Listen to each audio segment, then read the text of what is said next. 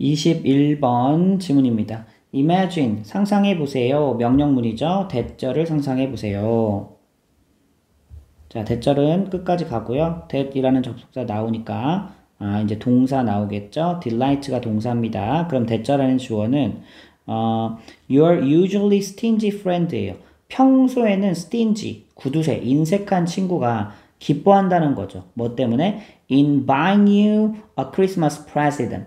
어, 그러면 buy가 이제 IODO로 쓰였지, 뒤에 구조가. 그래서 너에게 이 크리스마스 선물을 주어서 기뻐한, 평소에는 인색한데 크리스마스 선물을 주어서 기뻐하는 친구를 생각해봐라.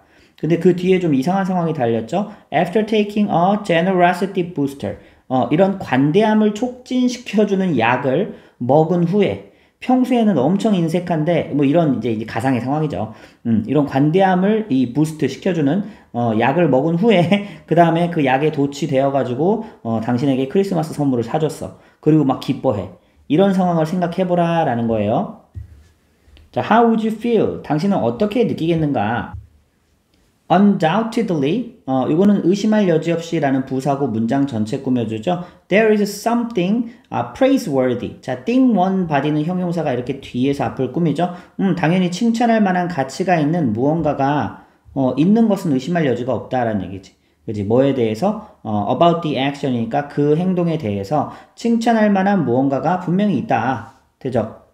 그렇지 친구에게 선물 사줬으니까 잘한 건 잘한 거죠. 그래서 you 어, would be입니다. would의 줄임말입니다. 뭐뭐일 것이다 라고 추측의 의미로 해석해도 괜찮아요. 그래서 you would be pleased. 당신은 기뻐할 것이다. 자, 이런 감정 뒤에 to가 나오면 뭐뭐 해서 기쁘다라는 감정의 원인, to부정사 부사적인 용법으로 해석하는 거죠. 어, 그 선물을 받아서 당신은 기쁠 것이다.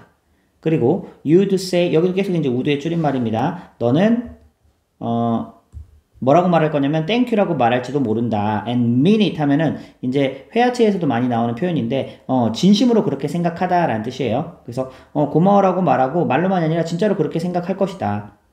됐죠? 자, but his change of heart 그의 마음의 변화는 is not entirely satisfying. 자, 여기를 동사로 보고 이 satisfying을 이제 어, 분사 형태의 보어로 봅시다. 주격 보어. 그렇다고 해서 완전히 만족스럽지는 않다. 이거를 satisfied 하면 안 되지, 그치? 음. 자, 그래서 according to 하면은 뭐뭐에 따르, 따르면 이런 뜻이죠. 그래서 어, 뭐 zegzebski라는 자, 누구냐면 동격의 컴마를 설명해 주고 있죠. American philosopher, 미국의 철학자에 따르면 he's not really generous. 그는 아니다. 진짜로 관대해진 것이 아니다. 관대한 것이 아니다. 맞죠? 그 약 하나 먹고 이제 어, 그 호의를 베푸는 거니까 그 성품이 원래 관대하다라고는 생각할 수는 없는 거죠. 자, when we praise someone's character, 자, when은 접속 아, 이제 그 부사절 접속사죠. 우리가 칭찬할 때, 어, 다른 사람의 어떤 캐릭터, 인품을 칭찬할 때 우리는 사용한다. 이게 주절의 동사죠. 어, for uh, various virtues. 그러면 이제 이 미덕에 대한 단어들을 사용한대요. 예를 들면 generous나 kind나 뭐 courageous나 etc 등등등. 그지? 용기 있는 행동이다. 뭐 이런 이런 형용사들 이런 것들을 우리가 어, 누군가 인품을 칭찬할 때 사용을 한다. 어, 그런데 그렇다고 해서 a person 사람인데 who gives one gift.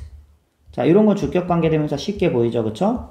음, 자, 그러면 이제 이 관계에서 나왔으니까 동사 나오고 어, 선행사 단수니까 단수. 선물 하나 준 사람이 isn't generous. 관대한 것은 아니다. 맞죠? 그거 하나 줬다고 음, 그, 그 사람을 관대하다라고 할 수는 없는 거죠. 자, instead 대신에 generosity 명사형이죠. 이 관대함이라는 것은 바로 뭐냐? is a stable part. 안정적인 그러니까 일회적인 게 아니라 꾸준히 반복되는 어떤 안정적인 부분이다라는 거예요. 뭐에? of a person's moral identity. 한 누군가의 도덕적 정체성에 안정된 무엇이다. 안정된 일부분이다. 그죠? 그래서 이거를 또 이제 컴마 찍고 이제 또 부연 설명을 해줍니다. 동격의 컴마라고 생각하면 되고, an emotional habit.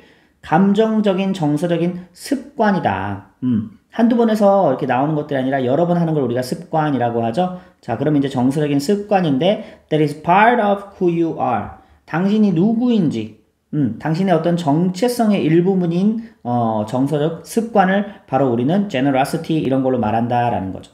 자, 자, 그럼 여기는 관계사가 여기도 동사 앞에 어, 주어 자리에 생략됐으니까 이제 주격 관계대명사라고 볼 수 있겠죠.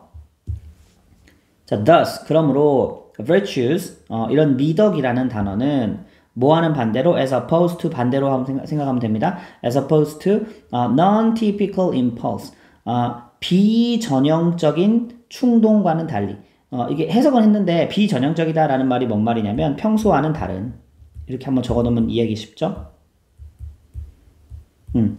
자, 평소와 다르게 막 충동적으로 일어나는 그런 일이 아니라 이 virtue는요, are the result 결과인데 어떤 결과래? of your personal history. 그렇죠. 개인 역사의 결과로 나타나는 거지. 그냥 순간에 평소와는 다른 어떤 갑작스러운 충동 같은 거 그런 게 virtue가 아니다라는 거예요.